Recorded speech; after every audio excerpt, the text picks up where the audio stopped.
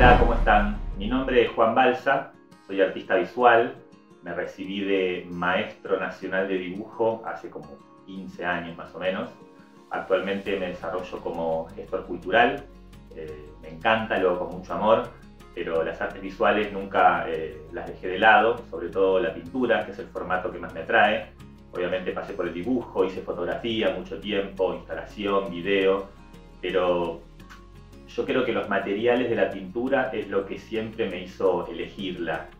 La plasticidad, la materialidad, el olor al lino, al aceite de lino, a la trementina, a los distintos solventes, las posibilidades enormes que hay, em, creo que es lo que siempre más me llamó. El hecho de usar un formato que es aparentemente bidimensional, pero donde puedes construir profundidades súper inmensas. Eh, todo eso creo que fue lo que siempre me acercó más hacia la pintura.